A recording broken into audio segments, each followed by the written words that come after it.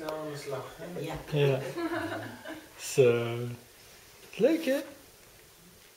Had je nou een brief gekregen van de DSC?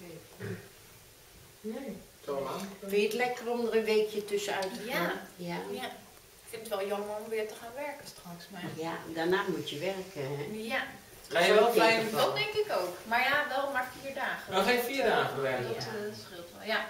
Nu deze laatste maand nog, eh nou ja, de eerste maand. Vijf. Ja. Ja?